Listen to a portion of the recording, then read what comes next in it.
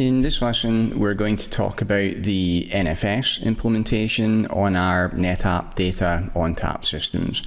First thing to tell you is that each of the different NAS and SAN protocols are licensed separately.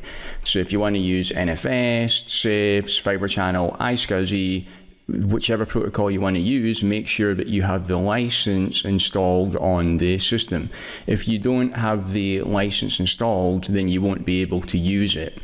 And when you create the SVM in System Manager, you're going to see that you don't have the option there to enable the protocol if you don't have it licensed already. NFS and CIFS are configured on a per SVM basis and NFS and CIFS are configured independently of each other. They can both be enabled on the same SVM. So you could have one SVM with both NFS and CIFS enabled on it, or you could have an SVM for NFS and you could have a different SVM for CIFS. You could also have two different CIFS SVMs and have two different settings for each SVM. Each SVM operates as a separate system and it shows up as a separate storage system to your clients. Okay, let's talk about our NFS versions. NFS was invented by Sun Microsystems. They're a very popular manufacturer of Unix based systems. It's a standard NAS protocol for our Unix based clients, which includes Linux clients. It can also be accessed by VMware, ESXi, it's a popular choice for that, Windows and Mac clients. So it was originally designed for Unix, but it can be accessed by other operating systems as well. NFS version 1 was only used for internal testing by Sun. So NFS version 1 was never released in the wild. NFS version 2 was standardized in 1989, so a long time ago. It's a stateless protocol that supports only 32-bit files with a maximum file size of 2 gigabytes. So that was a fairly important limitation on there. NFS version 2 not supported by NetApp. NFS version 3 was standardized in 1995, so that's still been around for a long time as well. It's also a stateless protocol. It's got performance enhancements over NFS version 2, and it supports TCP and 64 bit files. NFS version 2 only supported UDP. Files can be up to 16 terabytes on NetApp data ONTAP systems. So because it supports 64-bit files now, we don't have that 2 gigabyte file limitation. Our files can be a lot larger. It supports local user ID and group ID to authenticate users, and it supports Kerberos authentication as well. And it's been around for a long time, but it still retains widespread support in production systems, and it's enabled by default on our NetApp data ONTAP systems. NFS version 4 was standardized in 2003 it's a stateful protocol. So version 2 and version 3 are stateless, version 4 is stateful. It has the same file size capability as NFS version 3, so again it supports the larger file sizes, and it has security enhancements over version 3, including support for Windows style ACLs rather than just the native Unix permissions, and end-to-end -end security. It's disabled by default default on NetApp. NFS version 4.1 is a stateful protocol, as NFS v4 is, and it extends NFS version 4 by adding sessions, directory delegations, and parallel NFS, PNFS, to provide scalability and performance improvements on clustered storage systems. We'll be talking a bit more about PNFS later in this lesson. NFS version 4.1 has no dependencies on version 4 and it's considered a separate protocol. Like version 4, version 4.1 is also disabled by default on NetApp. So the only version that is enabled by default when you turn NFS on is version 3. And this ties in with what I was saying before about there still being a lot of widespread support for version 3. Next thing to talk about is NFS referrals. Referrals came out in version 4, they're supported in version 4 and version 4.1. If a node receives an NFS request for data on a volume on another node, it will refer the client to use a LIF on the node which hosts the volume. So this is an enhancement for our cluster-based systems. So with data ONTAP, we're running it in cluster mode. We've got multiple nodes in the cluster. If a client hits a logical interface, so an IP address, which is on a physical interface on a node, which is not the same node as where the volume is, then the node will refer the client to use a different logical interface on the node that does have the volume. That saves us having to send traffic between nodes going over the cluster interconnect.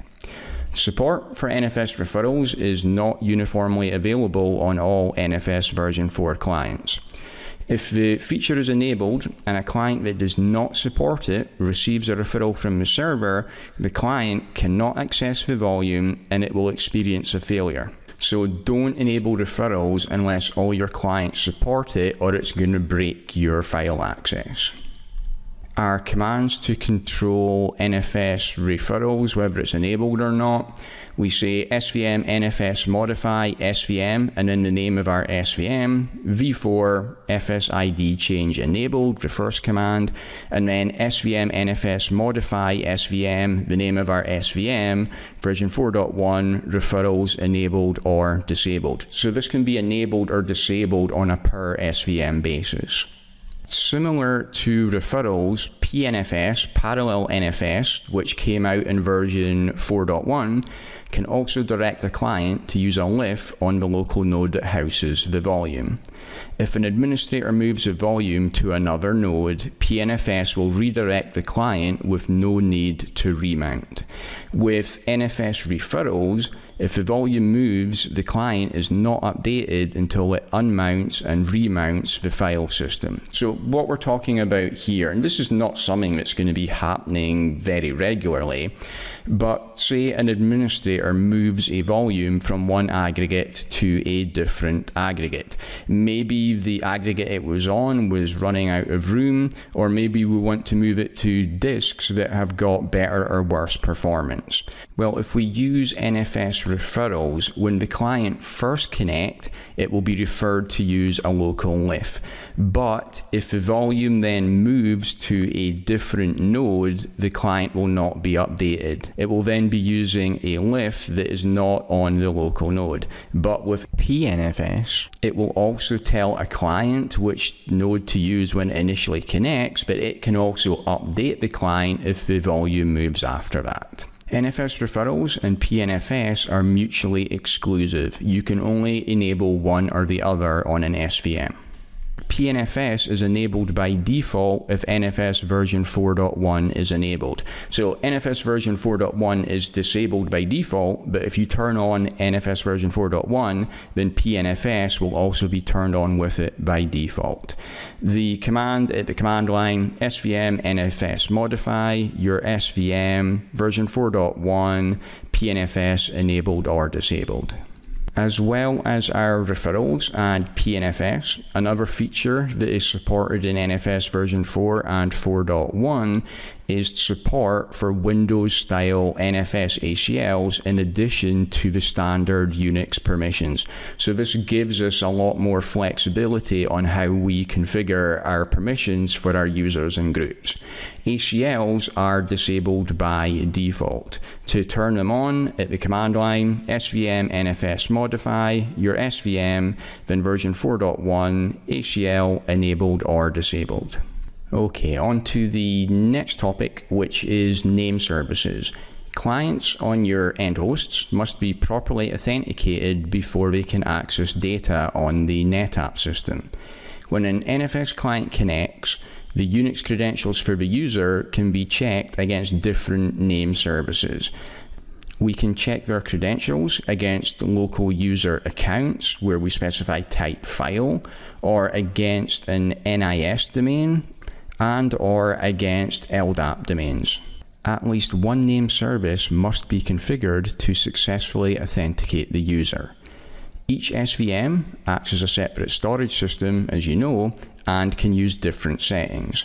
Kerberos is supported for the authentication, and if you're using NIS, LDAP, or Kerberos, that requires an external server.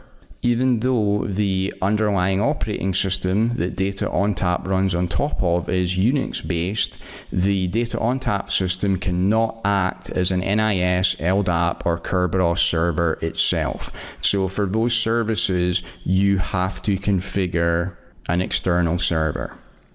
You can specify multiple name services and the order in which Data ONTAP searches them. So we don't have to choose between file NIS and LDAP. We could, for example, say check LDAP first, and then if LDAP does not give us a result or it's not available, we can fall back to using local file type.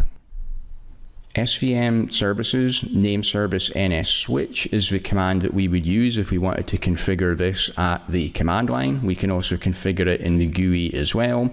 That provides the same functionality as the slash etc slash ns command on a Unix system. And if you look at the table on the slide here, it should be very familiar to you if you are used to working on Unix-based systems. So first database password is used for user information. Our options there, we can use files, the local file, NIS or LDAP. For group, that's our user group information. Again, we can use files, NIS or LDAP. The hosts database converts host names to IP addresses. For that, we can use files or DNS. Netgroup is where we can look up netgroup information. We can use files, NIS, or LDAP for that.